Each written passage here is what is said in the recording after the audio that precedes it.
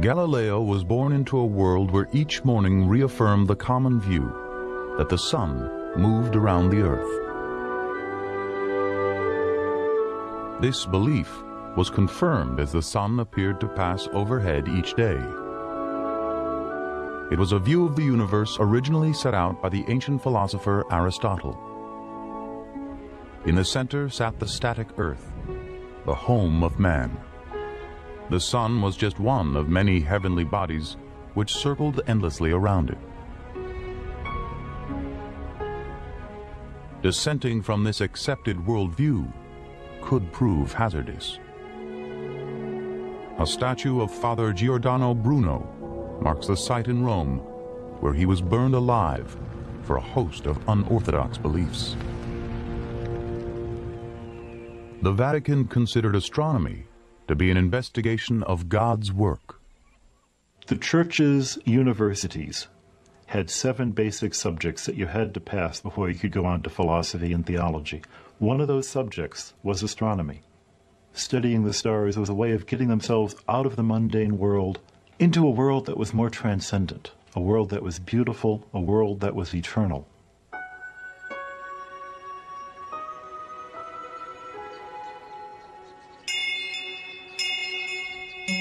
For the church, there was also a practical reason to study the heavens. The sky was both a clock and a calendar. Behind the walls of convents, sunrise and sunset defined the cycle of morning and evening prayer. Each spring, the planting of the gardens would commence with the coming of the equinox. The winter solstice foreshadowed Christmas, and the phases of the moon fixed the exact dates of Lent and Easter. Invano labora verum, qui edificant team, nisi dominus. The Church used the calendar to give spiritual significance to Aristotle's earth-centered astronomy. The images were very useful for teaching theology. The earth is not the center of the universe in that it's a, in a privileged place. It's at the bottom of the universe. Only hell is lower. And there's a chain of creation reaching up to heaven.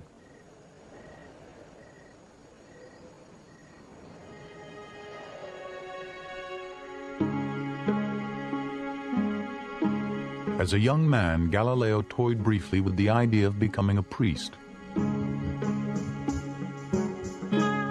Instead, he entered the University of Pisa as a medical student in 1581.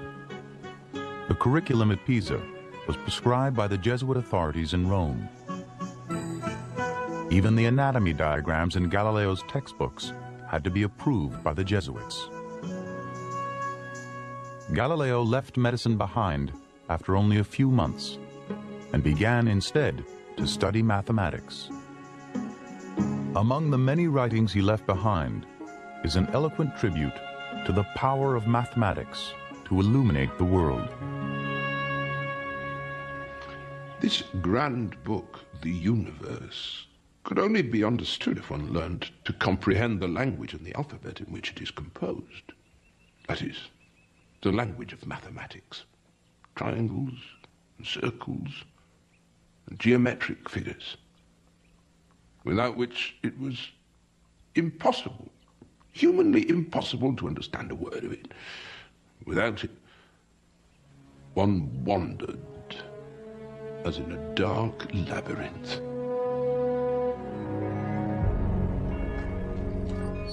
It's so confusing, the world. Where do we find truth? Where is the real truth? And there was a sort of consensus, which Galileo felt very deeply, that in mathematics you had real truth. If there was anywhere where human beings could think like God, it was when they were thinking about mathematics.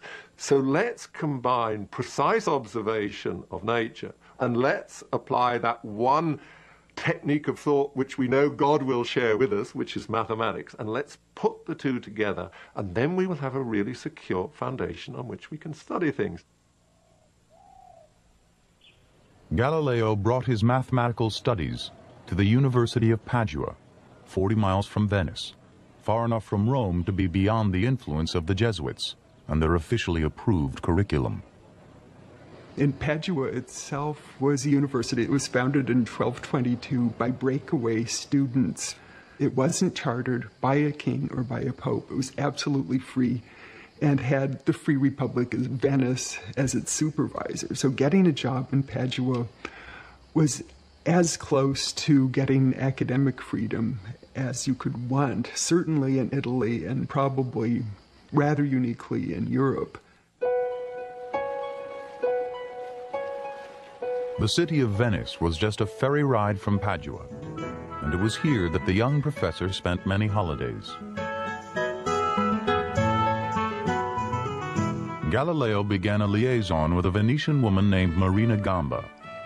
Little is known about her, but she was far from Galileo's social equal. The affair made his life complicated, but was not unusual, even among faithful Catholics. Yes, he loved to have a good time. He enjoyed his wine. He he enjoyed many forms of pleasure, but that didn't make him a bad Catholic, especially at a time when even uh, the popes had illegitimate children. Galileo himself had three illegitimate children. The eldest, Virginia, was born in 1600. The birth records in Padua say that she was born of fornication because Galileo was not married to her mother, they didn't live together. I suppose he might have lived with her if he'd wanted to, but his house was full of students and he worked at odd hours, so he didn't really keep his mistress or his children in the house where he lived. Despite these complications, Galileo thrived in the free air of Padua, becoming an ambitious scholar. Always fascinated by new devices, Galileo heard that a craftsman from the Netherlands had found a new use for common eyeglass lenses. The first telescope to reach Venice was a toy, a novelty, built to amuse partygoers. Spectacles compared to telescopes, are very low tech. But they had been around for several hundred years. It was only when lenses became available in certain range of strengths that one could take the weakest convex lens and combine it with the strongest concave lens and get an appreciable magnifying effect. Galileo set out to turn the Dutchman's toy into a useful device. Hearing reports of a new invention from a lens maker in Holland, I determined to fashion a device for myself and was able to make considerable improvements in it. Galileo realized that spectacle makers could not give him the lenses that he needed in order to make this device more powerful. They just weren't good enough and they weren't uh, the right strength. And so, in order to improve the instrument, he had to teach himself to grind lenses. And that is extremely difficult. And it certainly was in 1610. At first, Galileo was only interested in the optics of the telescope. With his improved lenses, he increased its power tenfold. But his lenses did more than magnify. By reshaping these pieces of glass, Galileo would eventually reshape our view of the world. With his telescope, Galileo first set out to make some money.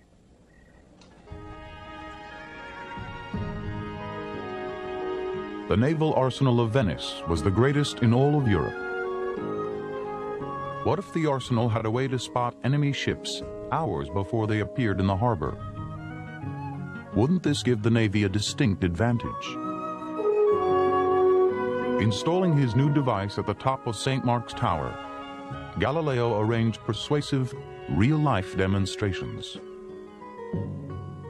Numerous gentlemen and senators more than once climbed the stairs of the highest bell towers of Venice to observe vessels so far away at sea that two hours and more were required before they could be seen by naked eye without my spyglass.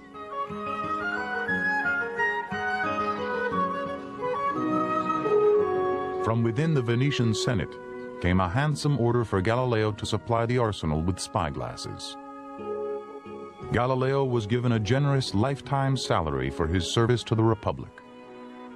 Part scientist and part self-promoter, for now, his future seemed bright. But soon, his telescope would launch a dispute which would threaten to destroy its creator.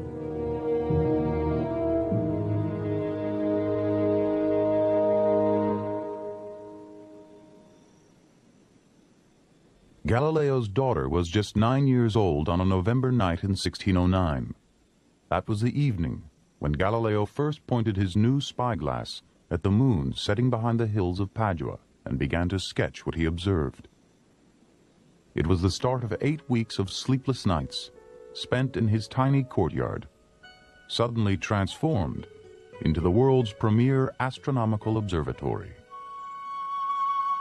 From my observations, I've been led to the opinion that the surface of the moon is not smooth, uniform, as a great number of philosophers believe it and the other heavenly bodies to be, but is uneven, rough, and full of cavities and prominences, being not unlike the face of the earth, relieved by chains of mountains and deep valleys.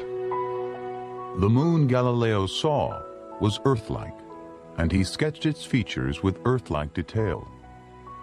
If the surface of a heavenly body resembled the Earth, perhaps the heavens and Earth were not as different as everyone thought. Galileo had observed the moon through a series of phases, and he apparently made some adaptations to uh, his instrument and uh, began ex exploring the planets. Now, Jupiter was the one that was in the most favorable position for observation. It was closest to the Earth at that particular point. And when Galileo looked at Jupiter, he saw three very bright little stars, invisible with the naked eye, on a line with Jupiter. And he remarked on that. He had no idea what they were. I mean, he thought that, of course, they were what they used to call fixed stars. In other words, the things that we call stars.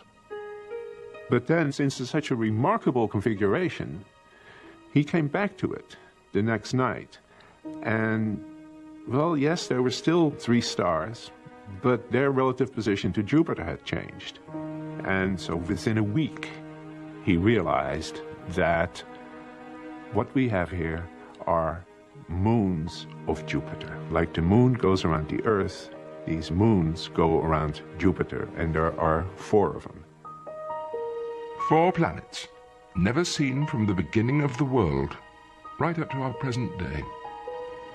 These wandering little stars make their journeys around the planet Jupiter with a marvelous speed and with mutually different motions, like children of the same family. In a little more than a week, Galileo had found the first new astronomical bodies to be discovered since ancient times. This discovery clashed with the common belief that the heavens revolved around the earth alone. Eventually, it would bring him head to head with church dogma. But for now, Galileo was exuberant. He rushed into print because he knew he could get scooped. If we date the discovery from the first observation of Jupiter's satellites until he realized they were moons, uh, January the 7th to January the 15th, he was in print by March the 12th. The book was out. Sidereus Nuncius, the Starry Messenger, was an enthusiastic announcement of telescopic astronomy. The first printing sold out within days, and news spread across Europe of Galileo and his amazing telescope. Galileo became an advocate for his new astronomy and for scientific observation. But as his fame spread, so did his reputation for arrogance. Sir, your ignorance of astronomy confounds me. I think if you spat on the ground, you'd see a new star in the shine of your own saliva.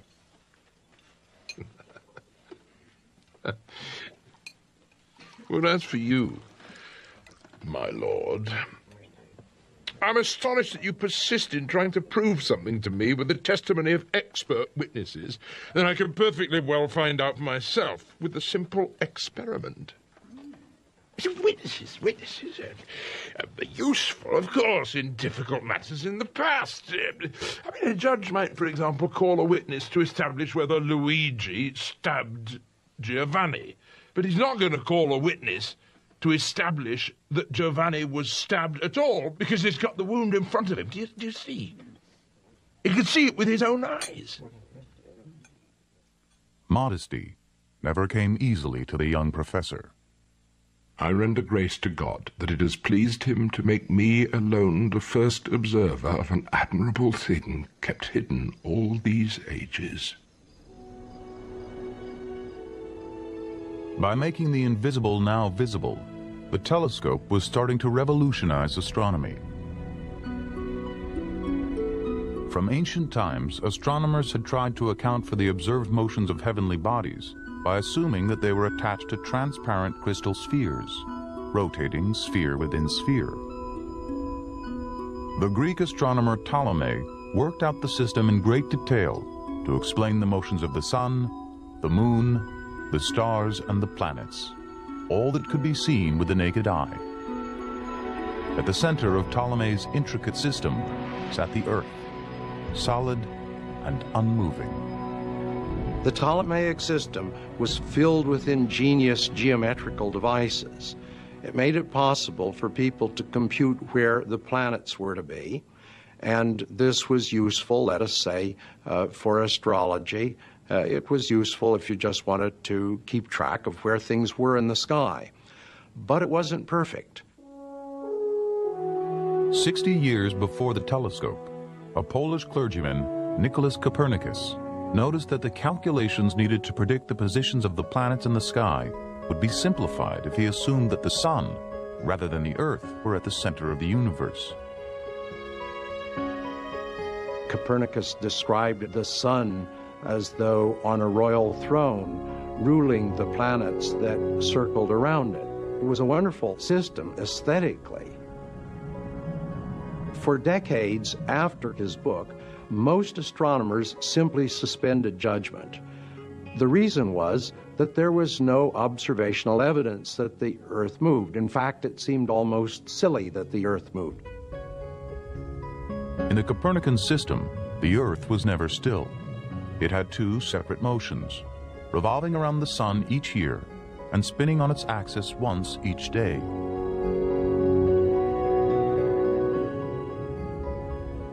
Copernicus was a little bit reluctant even to publish his system because he figured there would be a lot of criticism of it the thing that Copernicus suggested just made him really the laughing stock of Europe because he was saying here is the Earth is actually whizzing round at a huge speed, about seven or eight hundred miles an hour.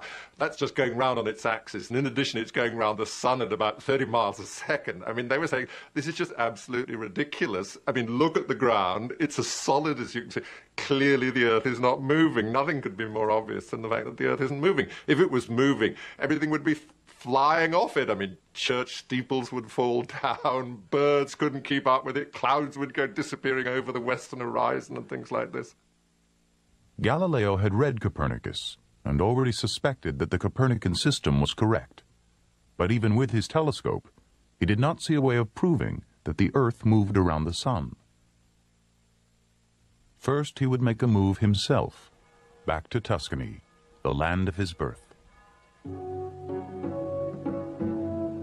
Florence, the Tuscan capital, held a great attraction for the rising young star. The exalted home of Dante and Michelangelo, Florence had been ruled for centuries by the Medici family.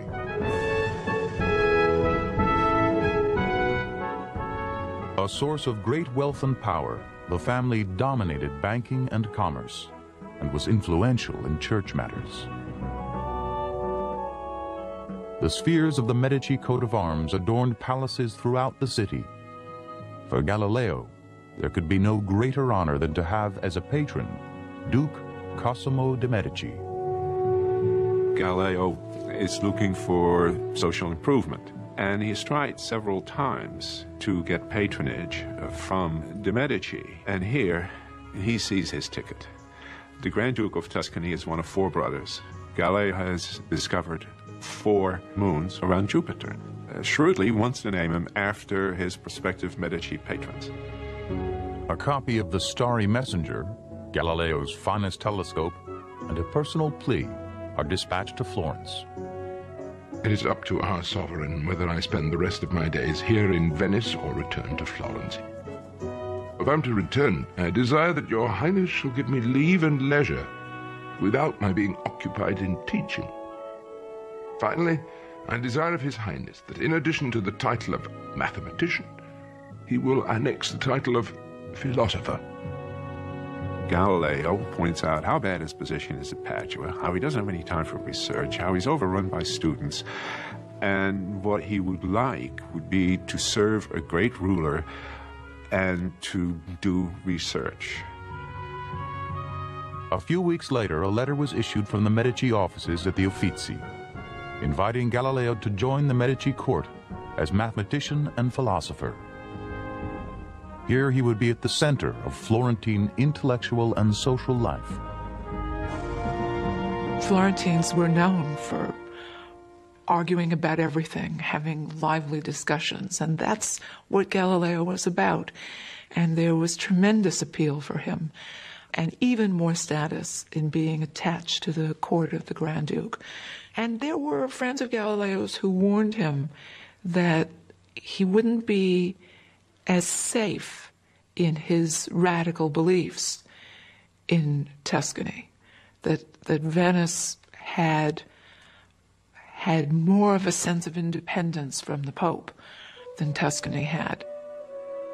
The Medicis were rich and cultured, but they were also beholden to Rome. With strong ties to the Vatican, the family had produced many popes and cardinals. They could not have known the difficulties their new philosopher would bring upon himself.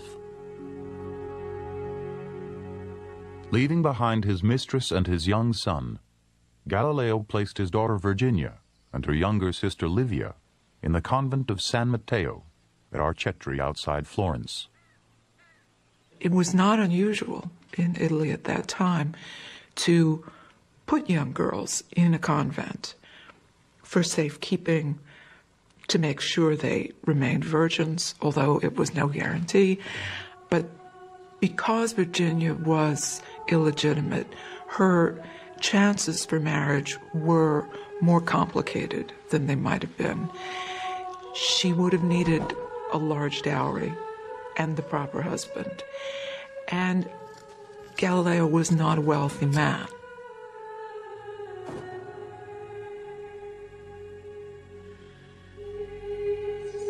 Young nuns like Virginia were expected to loosen their ties to the outside world. Even their families would be kept at a distance. To look at what happened to the father daughter relationship once Virginia had taken her vows gives one a sense of terrible loss, almost a living death. There's a a physical barrier between them in this grill. And yet, that again overlooks the tremendous pride of the typical Italian Catholic family, then, of having a priest in the family, a nun. You were putting that child in the service of God. And what could be more important? I would not say that his placing his daughters in the convent was in any sense an act of faith on his part. In fact, it was an avenue of something to do with them because, after all, uh, their mother had only been his mistress. They were illegitimate, hence, presumably not marriageable. Uh, so, so what to do? Uh, he supported them but not very lavishly. Over the course of 20 years, daughter Virginia would write dozens of private letters to her father from behind the convent walls. Galileo's servants carried the letters in baskets of food or clothing. Many of Virginia's letters survive. although all of her father's responses have been lost. Her letters suggest an enduring bond between the two, despite the harsh conditions of convent life. Most illustrious Lord Father, my room is terribly cold now, and I cannot see how I will be able to stand it, sire, unless you help me by lending me one of your bed hangings, ones that you will not need to use. I am returning the rest of your collars, which I have sewn. I pray that the Lord grant you the greatest possible well being. From San Matteo in Arcetri, your affectionate daughter.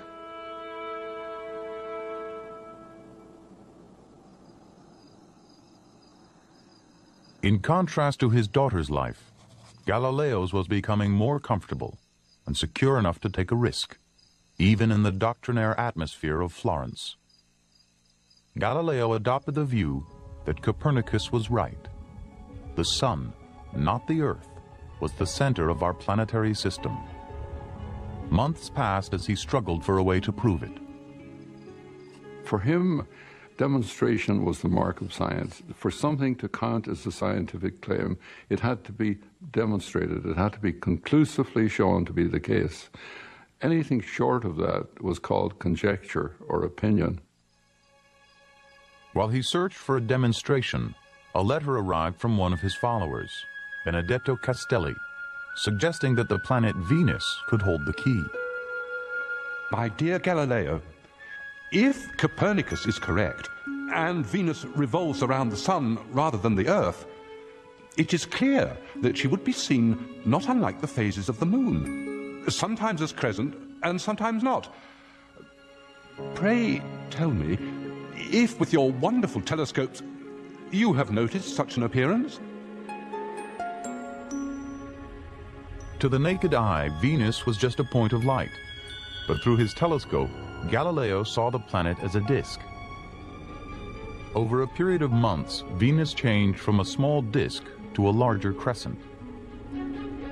Galileo immediately grasped that in a sun-centered system, this crescent would appear as Venus circled in an orbit between the Sun and the Earth.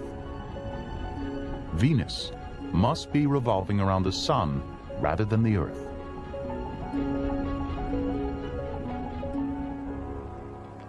With absolute necessity, I had to accept the theory of Copernicus that Venus revolves around the Sun, as do all the planets, including the Earth.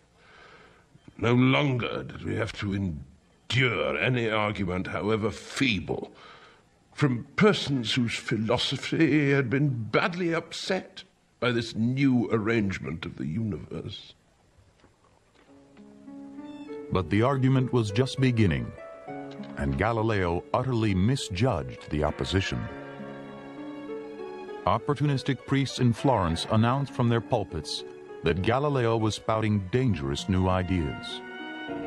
A chorus of jealous academics, bruised by Galileo's arrogance, joined the clamor.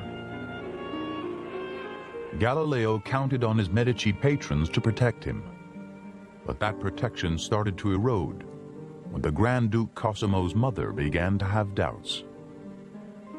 One of Galileo's young proteges uh, was uh, teaching mathematics and astronomy, Benedetto Castelli, and he got invited to one of the intellectual brunches that Cosimo's mother, the Grand Duchess Christina, uh, was wont to put on. And so uh, the conversation got around to these satellites of Jupiter. Galileo had named the moons of Jupiter for the Medici family, but the Grand Duchess questioned their authenticity. Are they real? Oh, yes, said Castelli. Even the Jesuits down in Rome have confirmed this. And then she switched the subject. She said, What about Copernicus? And what about Joshua at the Battle of Gibeon when he commanded the sun and not the earth to stand still? In the book of Joshua, the Lord halts the movement of the sun, allowing the Israelites a bit more daylight to defeat their enemies. This and a half dozen other biblical passages seem to suggest that it was the sun which moved, not the earth.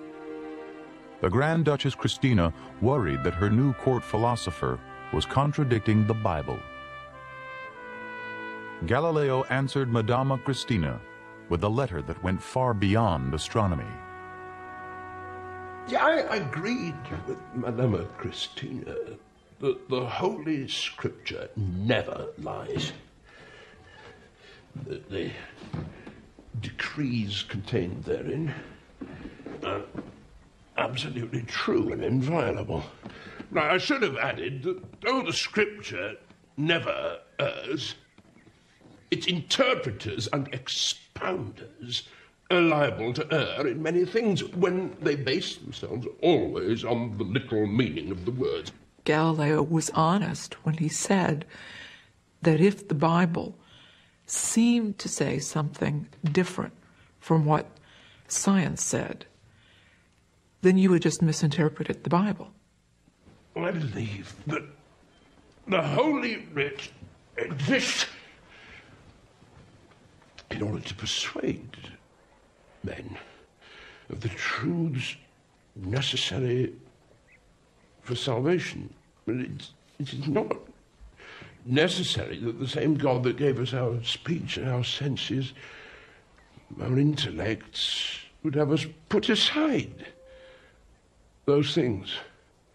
Particularly in the case of, of, of, of science, where it's, it's not the smallest mention in the Holy Bible. I mean, if the sacred scribes meant to teach men astronomy, then why did they leave it out? Galileo's outspoken letter to Madama Christina, intended to resolve the discrepancies between science and the Bible, came to be seen as an assault on the Bible itself. And that letter gets circulated and local priests read it and they're outraged and they're sending copies to Rome and they're saying to people at the Inquisition, you should investigate Galileo, you should do something about this, this guy's a heretic. Galileo surely knew what could happen to heretics when the cardinals of the Inquisition organized to purify society by combating heresy. Much of their work was the banning of books, but the Inquisition also had the powers of both torture and execution. Rome's dungeons had seen the end of many heretics, including the infamous Giordano Bruno, fallen priest and occult dabbler in science.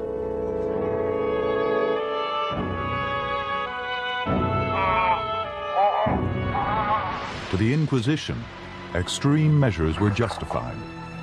Whatever pain was inflicted to save the soul of a heretic was nothing compared to the pain of eternal damnation.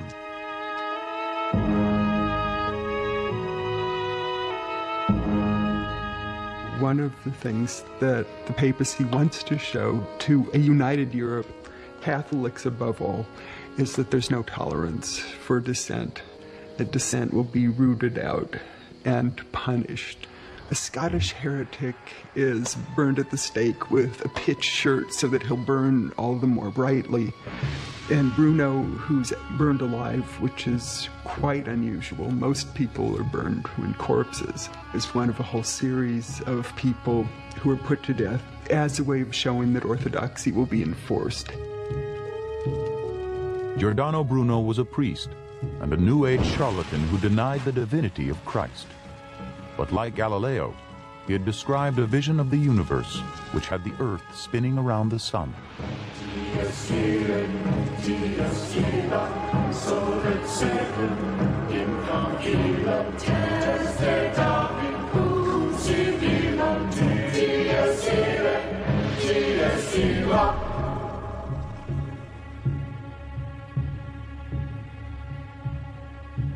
There's been a lot of different views as to how much the Bruno parallel uh, weighed on Galileo. Undoubtedly, it must have had some influence. He realized, of course, what had happened to Bruno.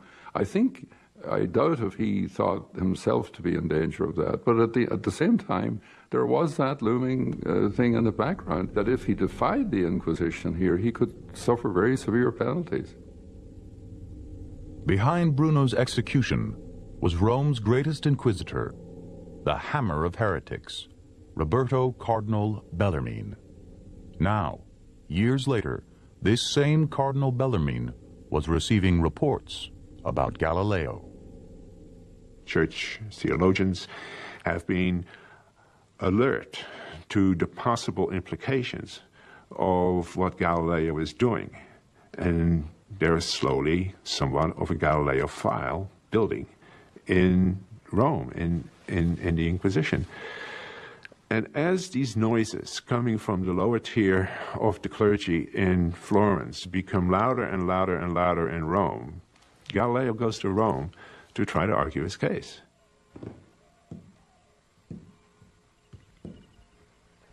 I decided to stand openly alone on the theatre of the world to bear witness to the sober truth. I believe that good philosophers, like eagles, fly alone, not in flocks, like starlings.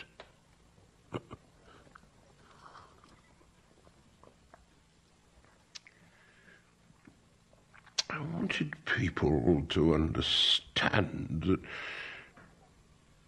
nature not only gave them eyes to see her works, but brains to make them capable of understanding them.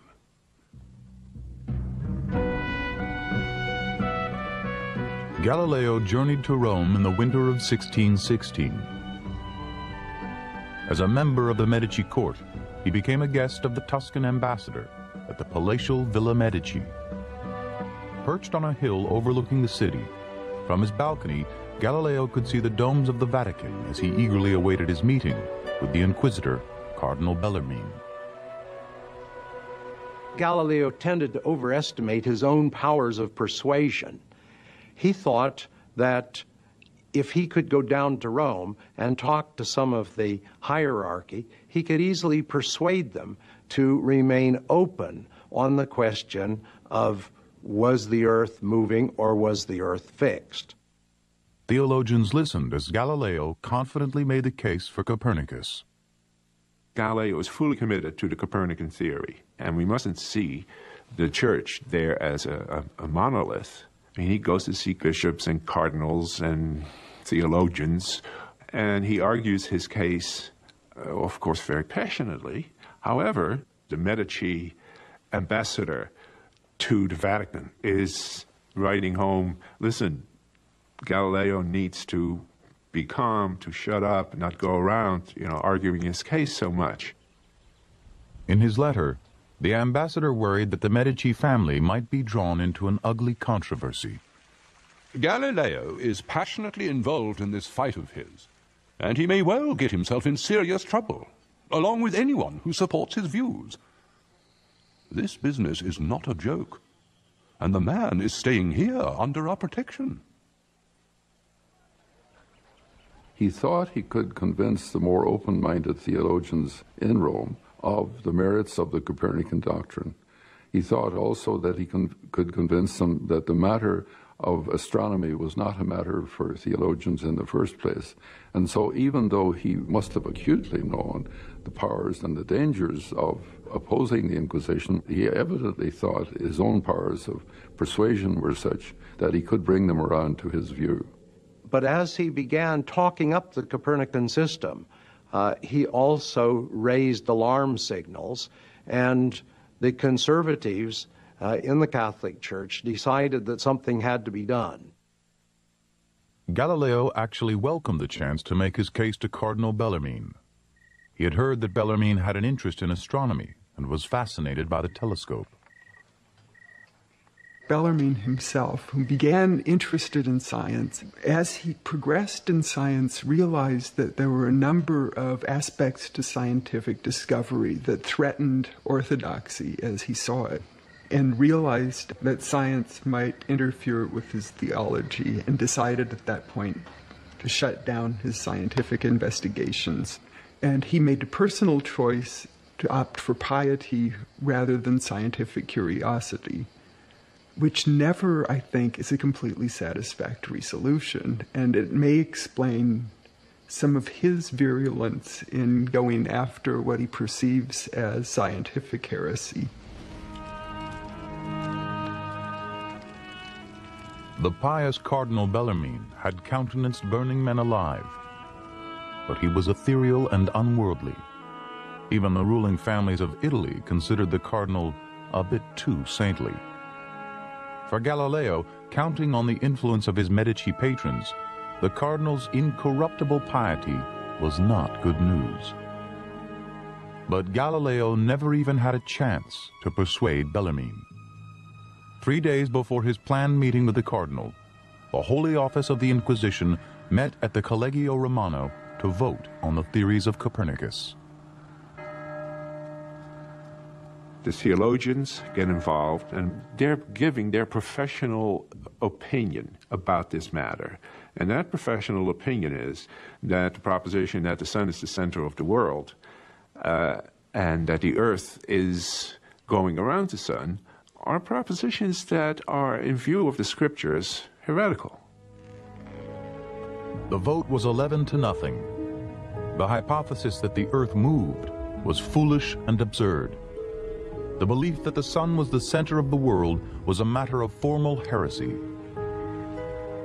Cardinal Bellarmine would use his meeting with Galileo to deliver the edict. Galileo will be told formally not to hold and defend the Copernican position. And what's more, in the decision it is stated that should Galileo refuse this order, he will be silenced. Galileo is forced to turn his back on Copernicus, whose work is added to the index of prohibited books.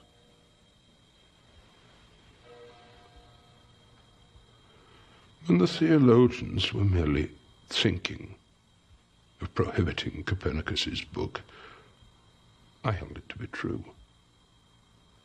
Then those learned gentleman actually did prohibit the work, declaring its opinions to be false and contrary to Scripture,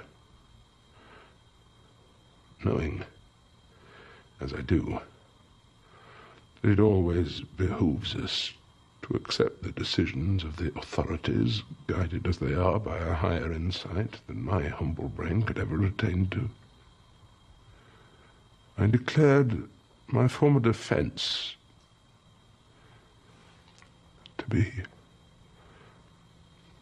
merely a poetical conceit, a dream, a fancy of my own, a mere chimera.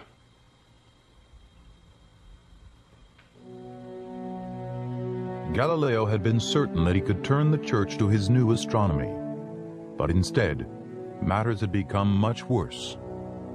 With the stroke of a quill, the church had banned Copernicus and for now muzzled Italy's greatest scientist. If there were to be a struggle between religion and science, religion had won the first round.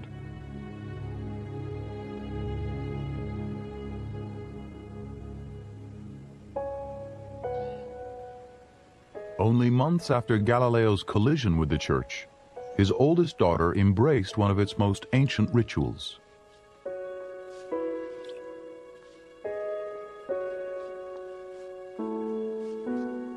Renouncing her worldly possessions, she surrendered her given name Virginia and chose for herself the name Sister Maria Celeste.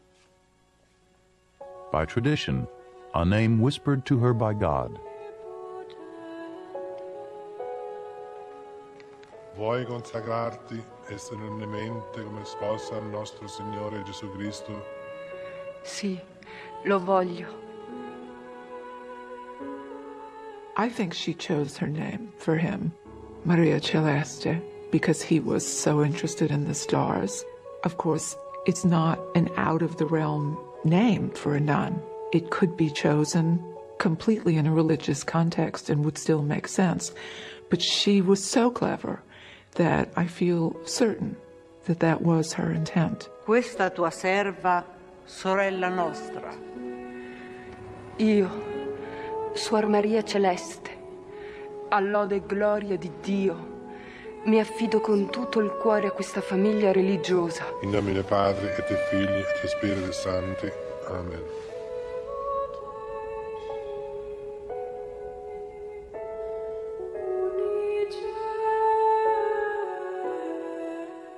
Although their lives were difficult, many of the intelligent young women actually chose the convent because they knew that would be the place they could think and write, and they had more status in society than they might have had even as married women with children.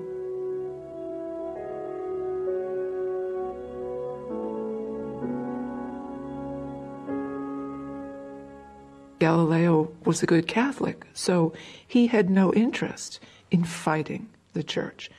What he was about from the very beginning of his public support of Copernicus was to bring the church to an understanding of the theory and of the theory's complete lack of threat to the church. If the church struck a defensive posture about something that looked like it had a very good chance of being true in fact, the church would face embarrassment. Galileo vented his frustration in outspoken letters to close friends and supporters. To ban Copernicus when his doctrine is daily reinforced with many new observations seems, in my judgment, to be a contravention of the truth, hiding and suppressing her when she's most clearly and plainly revealed. Despite the advances of Copernicus, within his theory a couched mystery so sublime and concept so profound that hundreds and hundreds of the most acute minds have still not pierced them. Cardinal Bellarmine may have slammed the door on Copernicus, but his philosophy left one small opening for Galileo to seize upon. Cardinal Bellarmine had argued that the church can change its opinion, but only if there is real proof that the earth goes around the sun. The Church did not accept Galileo's claim that the phases of Venus proved a sun centered universe, so he set out to find physical proof that the Earth was moving. From his younger days in Venice, where the water level could rise or fall many feet in a day, Galileo had developed an interest in the tides. Just as water sloshes back and forth in a swinging container, Galileo reasoned that the Earth, as a giant vessel spinning on its axis, might cause the seas to rise and fall twice a day. He believed that the tidal motions of a body of water like the Mediterranean might offer proof that the Earth moved. To make the water contained in the basin of the Mediterranean behave as it does surpasses my imagination, perhaps that of anyone else who enters more than superficially into these reflections. Some say Aristotle, after observing the tides for a long time from some cliffs, plunged into the sea in a fit of despair and wilfully destroyed himself for the mystery of them. Up to this point, he's been very bold. In 1616, he had, in fact, circulated, given to some cardinals, um, a, a tract on the tides in which he argued that this is actual physical proof that the earth moves. He does think enthusiastically, think passionately, think that he has the key here to prove, to demonstrate the Earth's motions by turning to the uh, motions of the tides. Now, we know that that is in fact incorrect, but uh, he thought he had it. For once, Galileo's intuition failed him. Although a link between the tides and the phases of the moon had been observed for centuries, Galileo rejected the idea. For him, the suggestion that the moon could influence events on Earth smacked of astrology or the occult. The search for physical proof of the Earth's rotation would take another 200 years.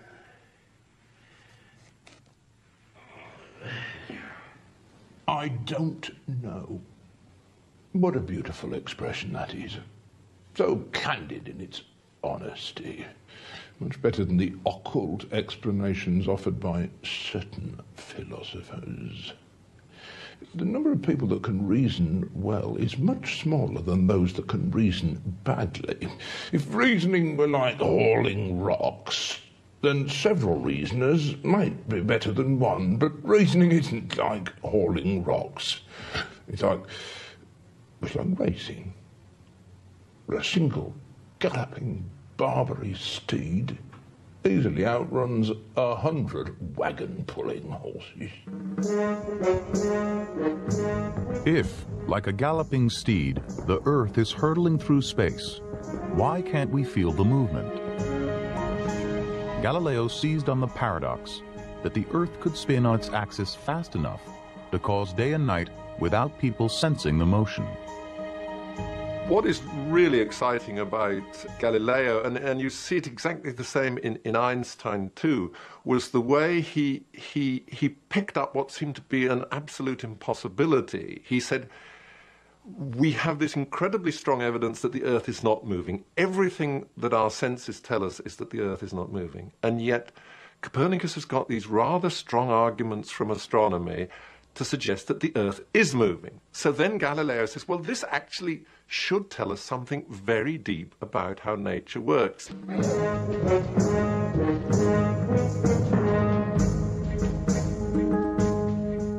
So he devised an intriguing thought experiment. He used a horse to represent the motion of the Earth. If a rider dropped a ball while standing still, the ball would, of course, fall straight down, landing beside the horse.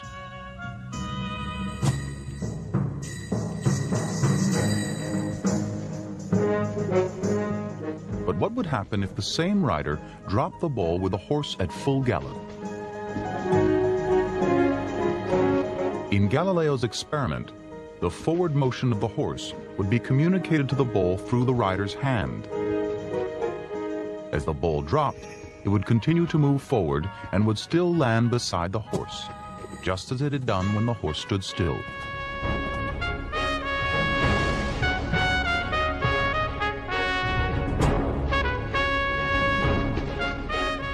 To Galileo, when the horse and the ball shared the same motion, it was as if the motion did not exist. If the Earth were moving, could we be carried along with it and not be conscious of its motion? There is a sort of a principle of relativity where if you're sort of moving with the Earth, everything shares the same motion. Not only is the Earth moving, but I'm sharing that motion as well. And therefore, it is all hidden. It was probably the first really great thought experiment in, in physics. He, he, in fact, he was so confident of the result, he never even bothered to do the experiment to show it was right. Despite his troubles with the church, Galileo was still well supported by the Medicis. He moved closer to his daughter, to a hillside villa outside of Florence. Florence is surrounded by these hills, and Arcetri, like the others, was a place where the wealthy families of Florence would have their villas. There were also normal farmhouses, there were convents. It was uh, relatively difficult to get into town. And uh, when the daughter of Galileo was in a convent nearby down there, and she also found for the father a location next to the convent where he had fields, he had olive oil. The daughter was also telling him that it was producing wine, but that he should not drink too much wine. Maria Celeste is extraordinary in every way. She she lives in this cloister. She is cut off from the world, and yet she has her hands in everything. The real estate market, the foods, the small favors, the laundry. She never did lose her sense of being a dutiful Italian daughter. The aging Galileo constantly complained of terrible ailments. I find this very thin, cold air in Florence to be most cruel to my head and to all the rest of my body. Constipation, discharge of blood, colds. Over the last three months, left me in such a state of despair.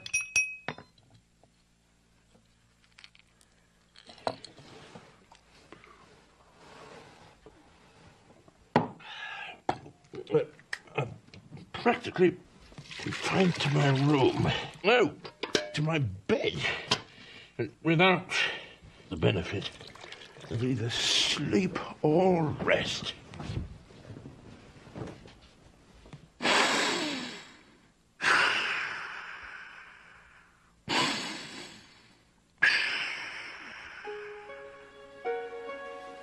Somehow, Galileo's every passing need, his ailments, his interests were known to his daughter behind her convent walls.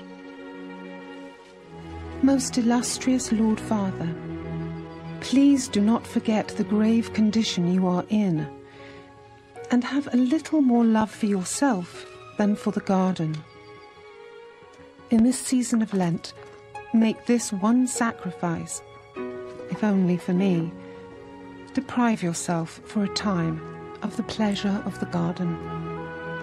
Sacrifice and exhaustion were conditions Sister Maria Celeste knew firsthand. The convent where Virginia became Maria Celeste was a particularly poor convent. Being a convent of the poor Clares, it was, of course, committed to poverty. That was their way of life, their chosen way of life. So they expected to have little to eat and to be cold in the winter and to experience harshness in, in every day's, every moment.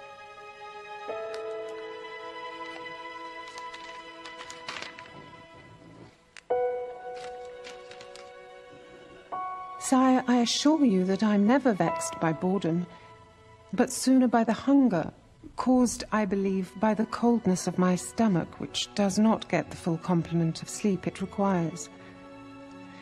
I only tell you this to excuse myself for the haphazard appearance of my letter, as I was compelled to put down and then take up my pen again more than once before I could complete it.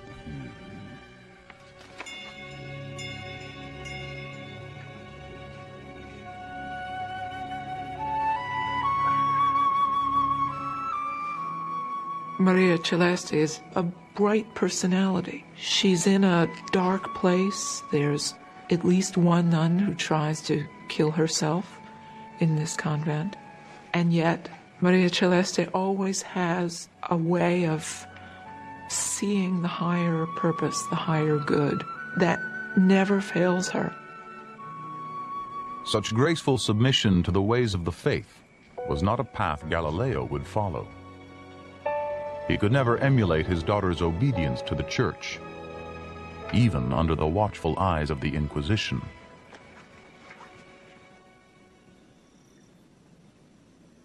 The church taught that all heavenly bodies were unchanging and pristine. But Galileo's telescope continued to reveal a cosmos quite unlike the officially accepted truth. Even on the bright surface of the sun itself, Galileo observed dark blemishes which he named sunspots. He could not have known that the spots were actually magnetic storms, but his descriptions of them were remarkably accurate. Sunspots are generated and decay in longer and shorter periods. Some condense and others greatly expand from day to day. They change their shapes, and some are most irregular. They must be enormous in bulk, being either on the sun or very close to it. Galileo gets into an argument with a German Jesuit mathematician named Christoph Scheiner about the nature of sunspots. The German argues that these spots are in fact little satellites that go around the sun.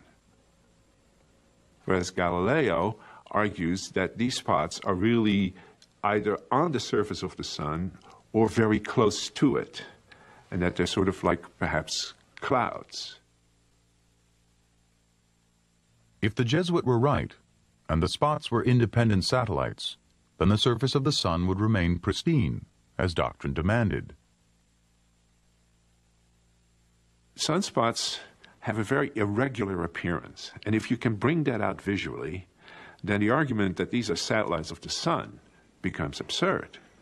And so Galileo very carefully planned the publication of his letters of sunspots they're all oriented properly so that you can see them from one day to the next being sort of born on the sun and dying there. All of a sudden, in the middle of the sun, there is appears on one day a little spot, and the next day it grows, and then it grows some more, and then it slowly goes off the edge. Clearly, there are spots on the sun that are so irregularly shaped that they can't possibly be satellites. There is a visual essay in which you have uninterrupted views of sunspots. Galileo produced a series of intricate engravings recording the daily changes of his sunspots. The continuous movements of the blemishes suggested that the sun might actually rotate on its axis.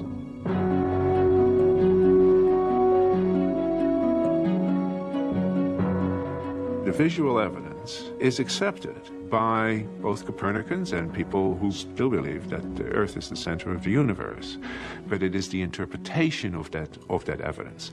And more and more and more, you see these conservative astronomers then stretching. Because if you can say that these are satellites of the sun, you can still say that the sun is perfect.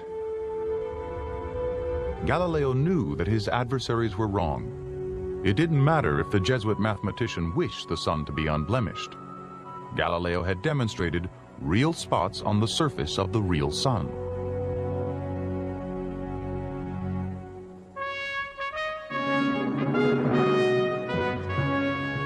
Seven years after the Inquisition banned Copernicus, news reached Galileo that a new pope had ascended the throne of St. Peter. The College of Cardinals had chosen a member of a prominent Tuscan family a man Galileo actually considered a friend. Maffeo Barberini would become Pope Urban VIII. Urban VIII is an interesting choice for a pope at that point. He's a member of the Barberini family, and uh, the old joke was what the barbarians didn't loot from Rome, the Barberinis did. His coat of arms, when he was a young prelate, had three horseflies. And horseflies became increasingly undignified for someone who's rising that far in the church. And so the horseflies at a certain point change into busy bees. And Maffeo Barberini therefore becomes the personification of a hardworking, productive individual. Everything that you see that is a sign of the beautiful Renaissance Rome was either started, continued, or inspired by what Urban VIII had done. the bottom of the Via Veneto, you have a fountain with three Barberini bees reminding you which pope gave you this water fountain and also reminding you that you shouldn't be just lounging around at the fountain. You should be making like the bee and producing honey. The new pope was a great fan of Galileo, who had written poems to Galileo, and all of a sudden, then, the situation appeared very different from the way it did in 1616. When news of Urban VIII's elevation reached her convent, Maria Celeste hoped that her father's silencing at the hands of the church would be over. Galileo secretly shared a letter he received from his old friend, the Pope. Father, the happiness I derived from the letter written to you by the Supreme Pontiff was indescribable. His note so clearly expresses the affection this great man has for you. I have read and reread it, savouring it in private. And here I return it to you as you insist, without having shown it to anyone.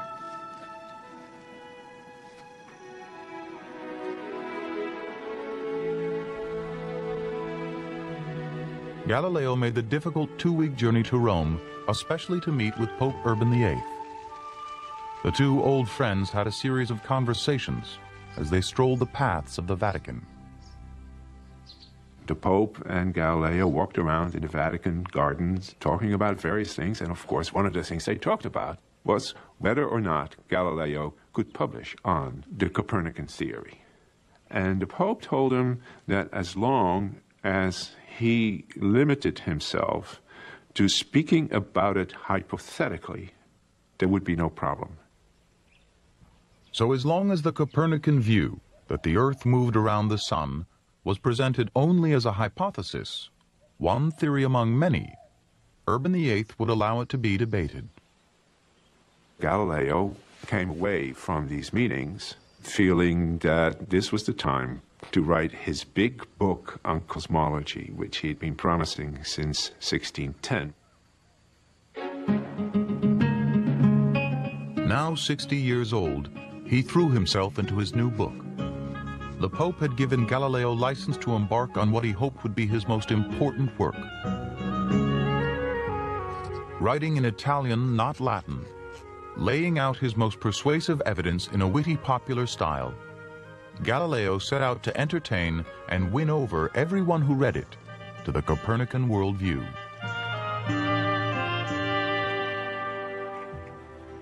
Maria Celeste's letters suggest that her father permitted her to read his unfinished manuscript. There seems to be a genuine interest on her part in his work. Of course, she's self denigrating. She always says, I'd love to see what you're writing if you think I could understand it. And of course, I'll promise not to talk about it to anyone else. So they have an intimacy on the work level. And possibly the most interesting thing that comes out of the letters is this strong indication that when he's working on the dialogue, their back and forth starts to include something called cuttings, which are obviously pieces of a manuscript. And it seems that she is the one who's actually preparing the manuscript. Months of writing stretched on as sickness interrupted his work. Finally, after five years, the end was in sight.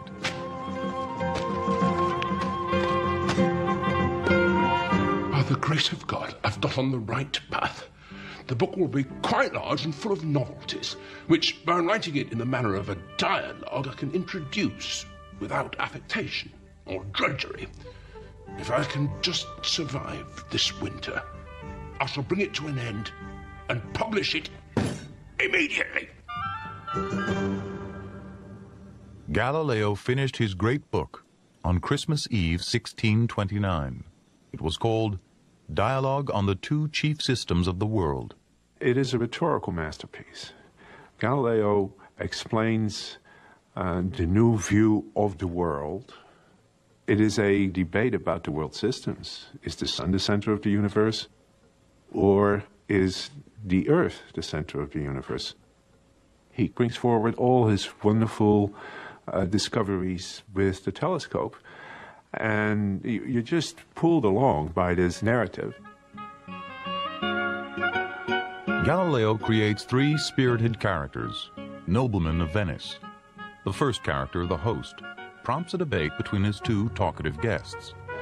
One of the visitors clearly speaks up for Copernicus and Galileo, but the other guest, Simplicio, the simpleton, is a comic foil, mouthing the church's doctrines on science and philosophy. Galileo got permission from a friendly censor to publish his book in Florence. He knew the censors in Rome would be much more difficult to persuade. He dispatched a handful of copies to the Vatican. But before he could hear the result, Florence was hit with a terrible catastrophe.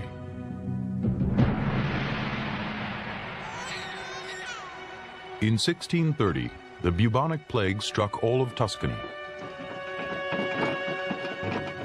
A matter of weeks, 6,000 Florentines were dead, and Galileo lost touch with Rome. Every night, as the city cowered behind barred doors, carts would collect the bodies.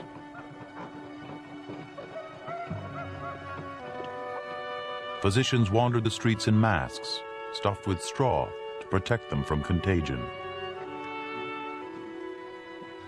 An outbreak of bubonic plague strikes all of Italy, strikes badly in Tuscany, and because of the development of science, there's some idea that there's contagion involved. And so there are attempts by the Grand Duchy of Tuscany, which is a pretty centralized governmental system, to establish quarantines, often in terms that we'd find inhuman, sealing up people's houses.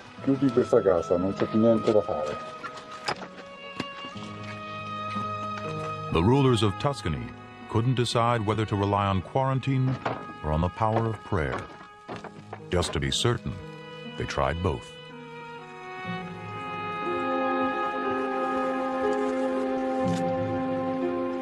parading the Madonna of Impruneta around the city is a way of invoking her divine aid. And of course, having a religious procession somewhat militates against the effect of quarantine. You hope that faith will override what looks like the law of nature. The Magistry of Public Health enlisted the help of Maria Celeste's convent. Praying for the rest of the world really had importance. And the nuns knew that. And in fact, during the plague, they were specifically commissioned to pray two at a time for 40 days, round the clock. And that was considered one of the most active interventions that could be made against the plague.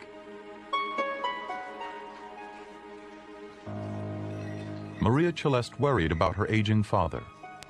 As the convent's apothecary, she prepared a medication for him, hoping to shield him from infection. Put your faith in this remedy, sire. It is held together with honey. Take it once every morning in a dose about the size of a walnut, followed by a taste of Greek wine. The Magistry of Health claims it provides a marvelous defense. Please use every possible precaution to protect yourself from the danger. Washing linens in boiling vinegar was seen to provide a measure of defense, although no one knew the reason why.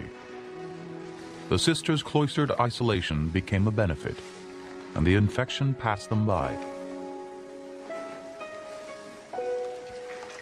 The next spring, the epidemic had subsided enough to permit limited communication with the rest of Italy. For months, Galileo heard nothing from the Roman censors. Had his manuscript been lost in quarantine? Had his work been stolen? The Florentine censor had endorsed the book, but Galileo needed the approval of Rome. The father told me more than once that tears came into his eyes when he was reading. He acknowledged that I should be begged to publish such a book. Meanwhile, it sits in the corner, and my life wastes away.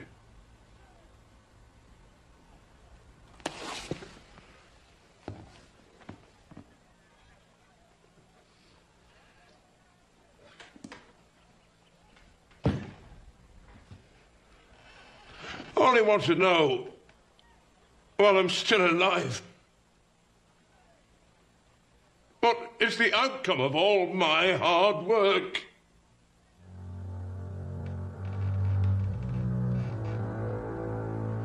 While Galileo waited, the copies of his dialogue were quietly passed among powerful Roman churchmen. But curiously, Galileo's great admirer, the Pope, may not have actually read it. Instead, Urban VIII heard rumors, rumors that Galileo had put his words into the mouth of a fool. Rumors that Galileo had not written a scientific discourse, but a literary satire. What Galileo's doing is writing a work of great literature. He wrote it as a dialogue so that it would be both a scientific and a literary work, and is expecting that this most cultured, cosmopolitan, and progressive of popes will appreciate it, forgetting probably temporarily that in the end of this beautiful rhetorical production, there's a rather grievous insult. At the very end, he puts the words of the Pope in the mouth of the simpleton that if God wanted to make the universe some other way, any other way, but make it appear to us the way it does now, he could have. And therefore, none of these arguments about whether the sun is the center or whether the earth is the center can be definitive. Years earlier, when he had strolled through the Vatican gardens with Galileo, the Pope had made the very same argument, saying that the works of God can be beyond human understanding. Urban's advisors persuaded him that he had been the model for Simplicio and that he was being made a fool. Urban took a very angry view of the book, and the two never spoke again. The Pope convened a special commission to look at the Galileo case, to look at the manuscript, and that commission uh, recommended that a process by the Inquisition. The Inquisition served a paper on Galileo, ordering him to appear in Rome the coming October. The old man tried to delay his trip by claiming ill health. By Christmas, Galileo was again ordered to appear. He could come voluntarily, or he could come in chains. As he arranged to leave Florence, Galileo's daughter sought to prepare him for his ordeal. Father, I beseech you not to grasp the knife of these current troubles by its sharp edge, but rather, seizing it by the blunt side, use it to cut out all the imperfections you may recognize in yourself and arrive at an awareness of the vanity and fallacy of all earthly things. In Rome, Galileo again could see the Vatican from the windows of the Tuscan embassy. But for months, his summons to the Inquisition did not appear. His trial order finally arrived in April. Like most such proceedings, Galileo's was conducted with strict formality and perfect civility.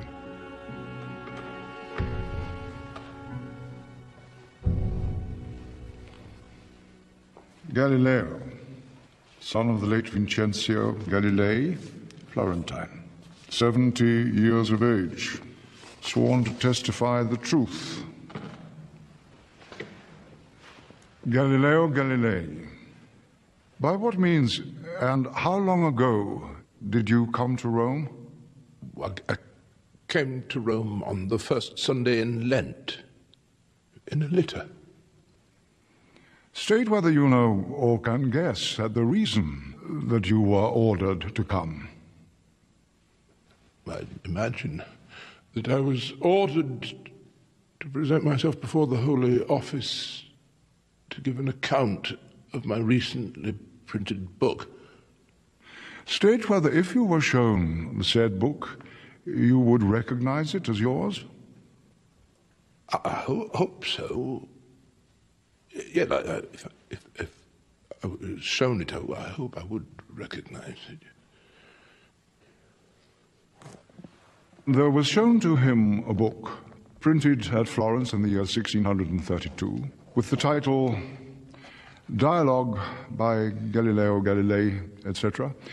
And when he had looked at it and inspected it, he said, I know this book very well, and I acknowledge it as mine.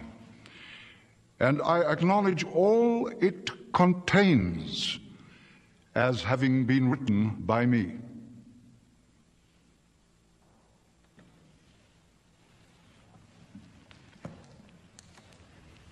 The Inquisition limited the trial to two simple questions of fact.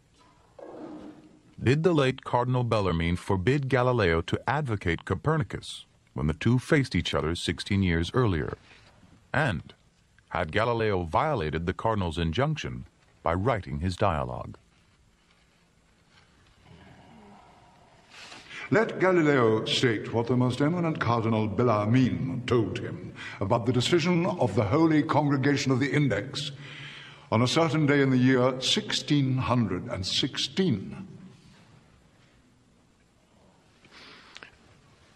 The Lord Cardinal Bellarmine informed me that the opinion of the stability of the sun and the motion of the earth was deemed to be repugnant to Holy Scripture. I believe the Cardinal notified me that it was possible to hold the opinion hypothetically, as Copernicus did. Can Galileo explain what is in his book? which he imagines was the reason for the order that he appear before us? Well, uh, when I was writing the dialogue, I did not do so because I held that the doctrine of Copernicus was true. Instead, I set forth the astronomical reasons that could be advanced on either side of the debate. I tried to show that neither side of the argument has conclusive force to favor one opinion over the other. I do not now hold, and since the determination of Cardinal Bellarmine, I have not held the condemned opinion. All who read the dialogue could see that the defense of Copernicus was by far the stronger argument in the book. The character Simplicio, mouthing the words of Urban VIII, was really more satire than science. Galileo was forced into a position of false humility, and humility was never his style. Uh, with respect to the court, I've recently reread my dialogues after three years.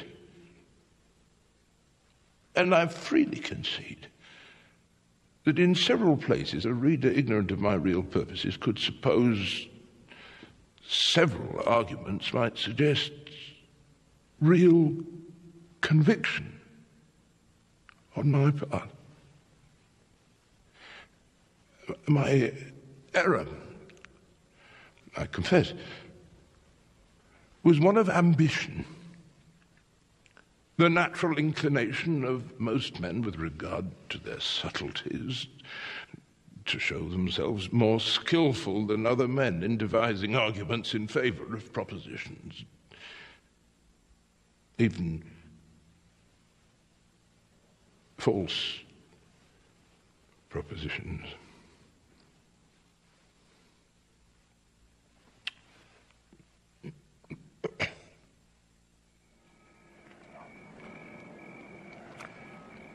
Galileo was remanded to a small room in the Palace of the Inquisition.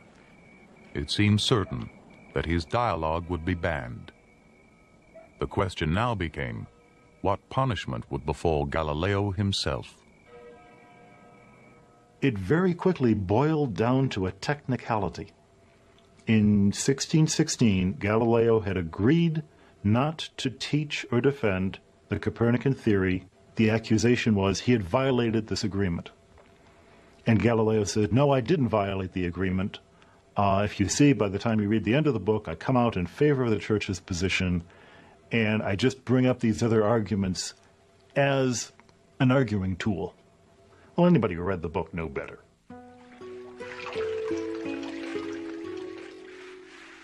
News of Galileo's confinement reached Maria Celeste and she nervously sent off a letter of cautious advice, not knowing if it would ever get to her father. Detained in the chambers of the Holy Office. I have given no hint of these difficulties to anyone else, wanting to keep the unpleasant news to myself. Father, now it is the time to avail yourself of that prudence which the Lord God has granted you.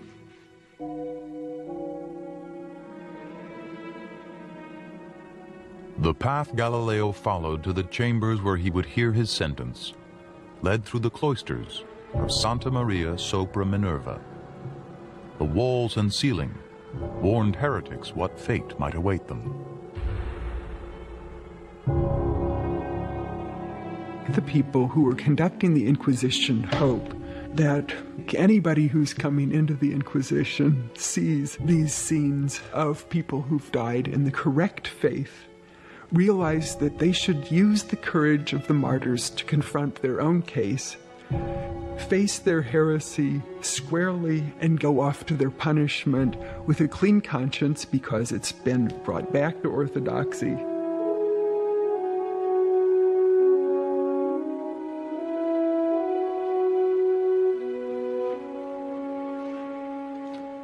On the morning of his sentencing, Galileo was once more brought before the Inquisition, this time wearing the white robes of a penitent.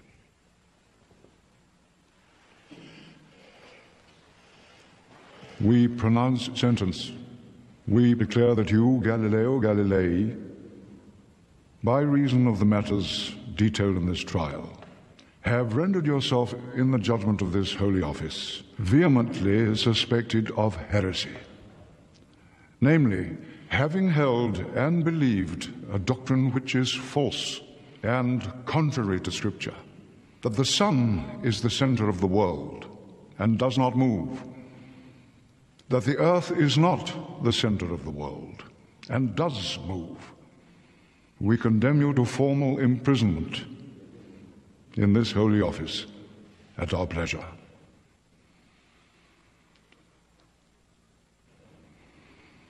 A settlement was likely worked out. Galileo was given a chance to renounce his errors. Rather than spending the rest of his life in a dungeon, the old man knelt as ordered. I, Galileo, son of Vincenzo Galilei Florentine, seventy years of age, kneeling before you, swear that I have always believed, I believe now, and with God's help I will always believe all that has been taught, held, and preached by the Holy Catholic Church. I abjure with unfeigned faith and sincere heart. I curse and detest many errors and heresies. So help me God. Amen.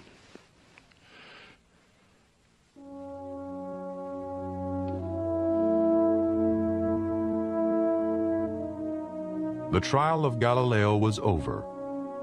Waiting in the Tuscan embassy, he would not know for months when he would be allowed to return home. Dialogue on the two chief systems of the world was added to the index of prohibited books. It would remain banned for the next 200 years. Galileo had believed that Pope Urban VIII would protect him from censure, but the Pope had not. Being the Pope is different from being the Cardinal. The Pope had many battles to fight, the most important being the Protestant Reformation. And there he was, the head of the Catholic Counter Reformation. And Urban was actually accused of not doing the right things to further the Catholic cause. The Pope maintained interest in what Galileo was doing. But the Pope, in many ways, had other concerns besides science. Urban VIII is facing the Thirty Years' War. The entire reign is under the shadow of a terrible, vicious civil war that's tearing apart the Christian world. So when Galileo came to trial, the Pope could not risk defending his friend when he personally was under such scrutiny. and Galileo became expendable. He feels he can afford to turn his back on Galileo, and I think Galileo didn't know what was coming. Tuscany at that point has nothing but culture. Galileo is their vanguard of scientific thought. Galileo gets silenced by the Pope. So it's a Tuscan turning back and smacking his Tuscan friend, who he feels smacked him at the end of this dialogue, so that it's a wonderful Florentine vendetta. Six months after his trial, news arrived in Florence that Galileo would finally be allowed to return home. It had taken the pleas of the Tuscan ambassador, the intervention of the Medici family, and the quiet influence of his own daughter.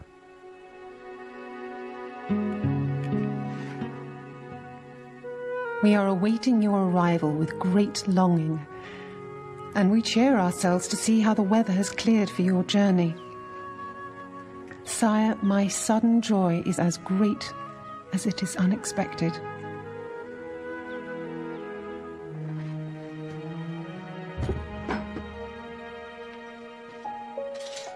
Galileo was home, but confined to his own house, unable to teach, travel, or even visit his daughter without permission.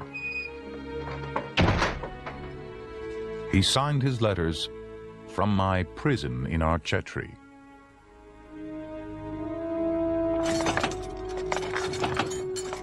He was under house arrest. He could not move without authorization, and also what he could do, what he could not do, was dictated by the church.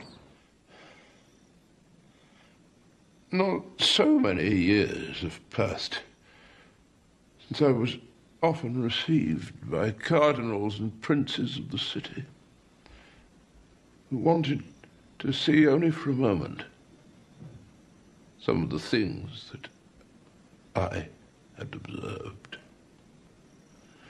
Latin orations were occasionally recited in honor of me. The Duke's mathematician, discoverer of new planets, eyewitness of wonders unknown to the ancient philosophers. But now, uh,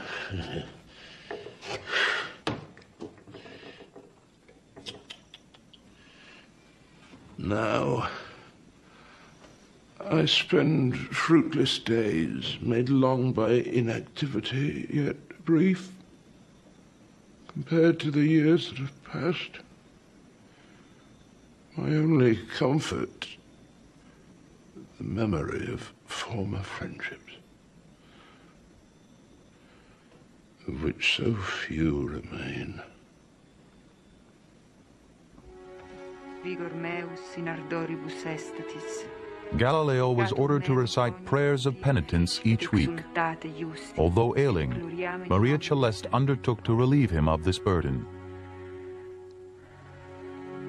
I obtained permission to view your sentence, sire. By taking upon myself the obligation you have to recite each week the seven Psalms, I have already begun to fulfill this requirement.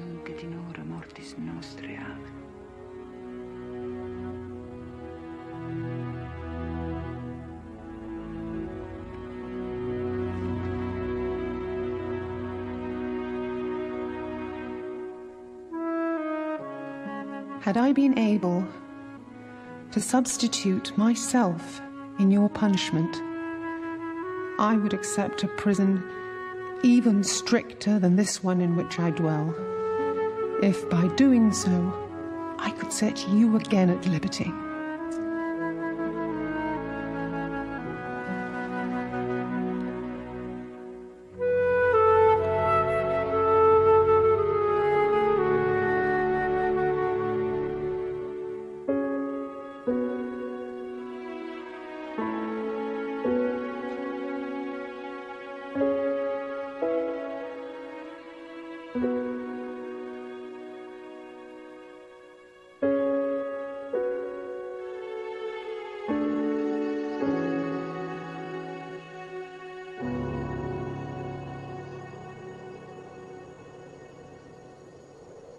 Although her letters had not dwelled on it, Maria Celeste's physical condition had deteriorated in her father's year-long absence. I think that during Galileo's trial and detention after the trial, he was too broken and too needy to realize the state she'd been reduced to. I'm not very well, but by now I am so accustomed to poor health that I hardly think about it. As it pleases the Lord to keep testing me with some little pain or other. I thank him, and I pray that he grant you, sire, the greatest possible well being.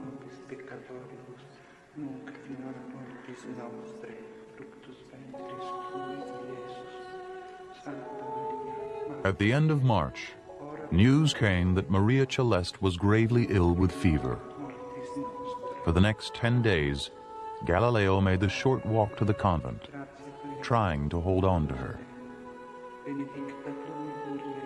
But late one night, she succumbed to dysentery, leaving the world at the age of 33.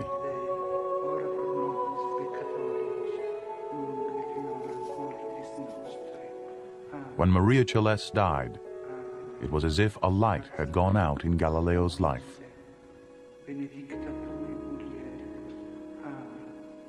It was only when he got home, as he reports later in letters to colleagues, that he he found her so weakened that she actually succumbed to a, a fairly common illness that need not have been fatal, but in her state proved to be fatal.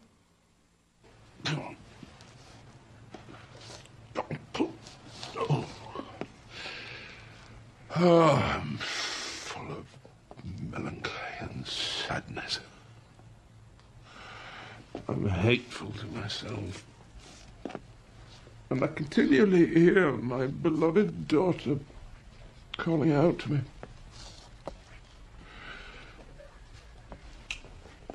Maria Celeste suffered ill health during my absence.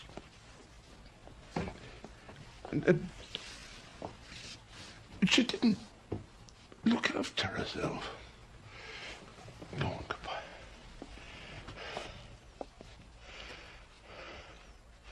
She was a woman of exquisite mind, singular goodness, most tender in her feelings towards me.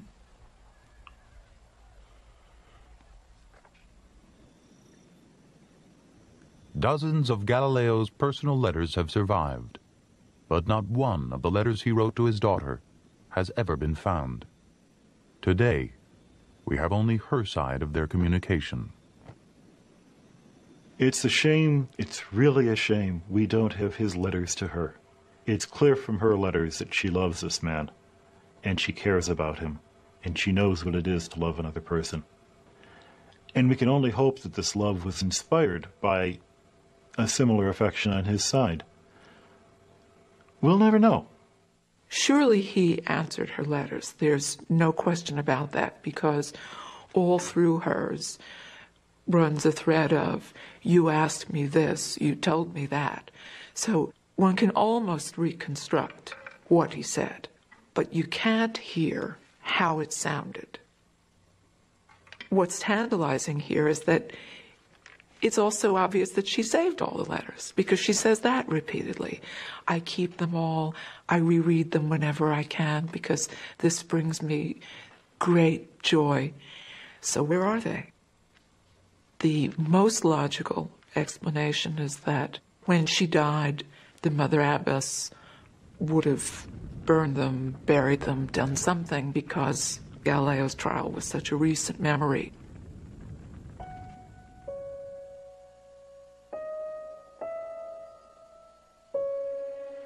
Fighting advancing blindness and often confined to his bed, Galileo began to re examine his own early work.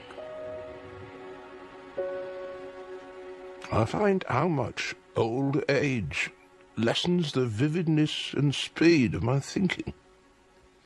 I now have to struggle quite hard to understand things which, when I was younger, I discovered and proved.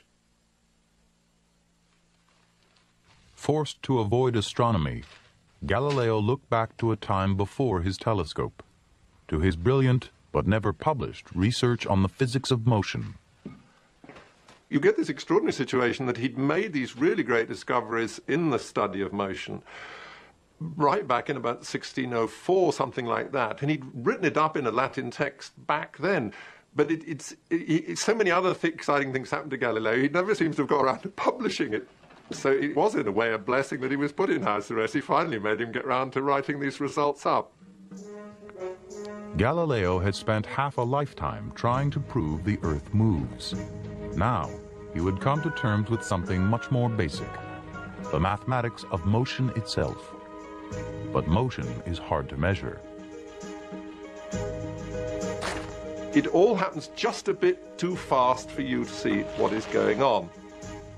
Galileo hit on this wonderful idea of slowing down the motion. So instead of trying to watch a thing falling, he rolled balls down very gentle slopes so that the speed built up very, very slowly.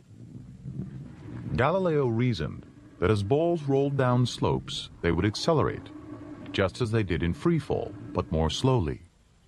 As a young man, Galileo had designed a very accurate inclined plane, one of the most important pieces of experimental apparatus in the history of science. Galileo left behind no plans for his inclined plane, but based on his experimental notes, Professor Roberto Caparelli is using what he believes to be Galileo's original design to discover how he was able to accurately measure acceleration. Galileo studia il piano inclinato come... Galileo studied the inclined plane, slowing the motion of falling bodies until he was able to observe the phenomena. He was able to measure exactly how fast a ball would roll, timed with the swing of a pendulum.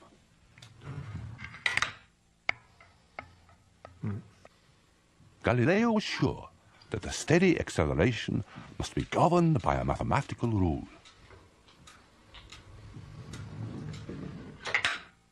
So he takes this very gentle inclined plane and he lets the ball roll down and he watches how that ball speeds up and he measures how far it goes in a certain time. And then he makes his first empirical discovery that if in the first unit of time it goes one unit of distance, in the next unit of time it travels three units of distance, and in the next five, and in the next seven. So it has this beautiful numerical progression one, three, five, seven. And he calls this the odd numbers rule. And he really is entranced by this. He knows he's made a huge discovery. Galileo had found a mathematical rule for accurately predicting the motion of objects in the real world, a universal law which applied to any falling bodies.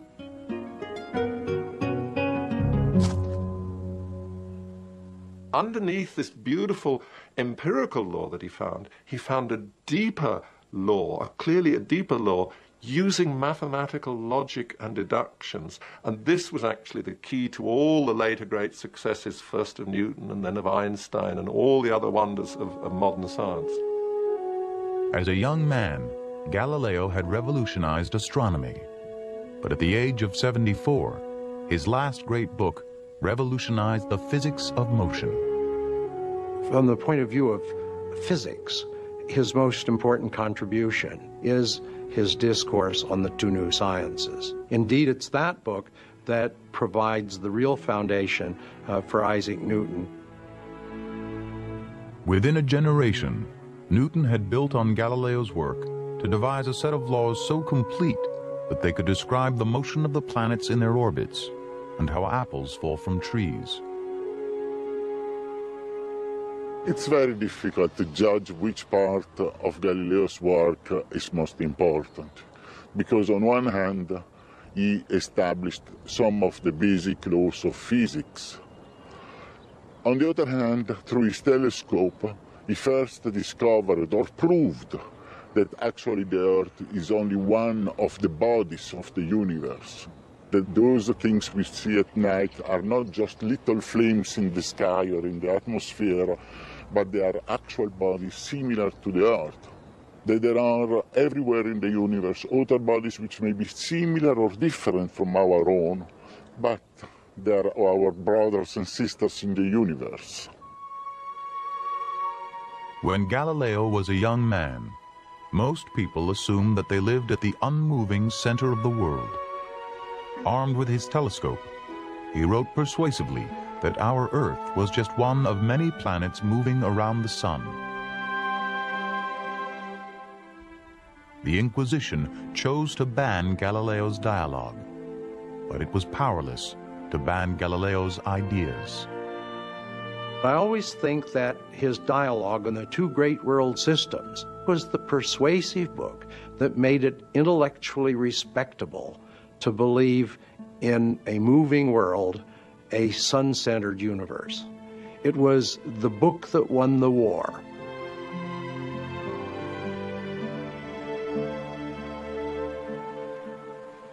The Catholic Church long ago accepted the science of Galileo. But it was not until 1992 that a papal commission reconsidered its handling of the Galileo affair. John Paul II said that mistakes had been made in the Galileo case and used Galileo's language to talk about the relationship between faith and reason, between religion and science.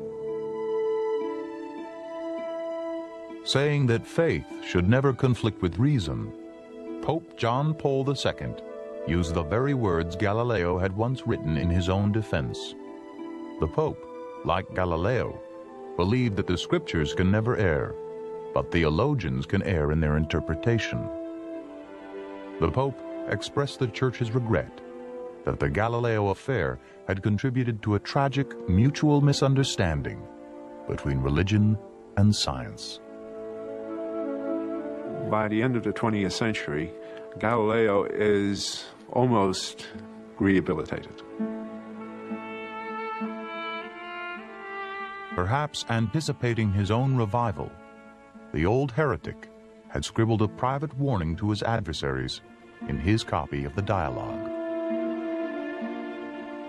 Take note, theologians.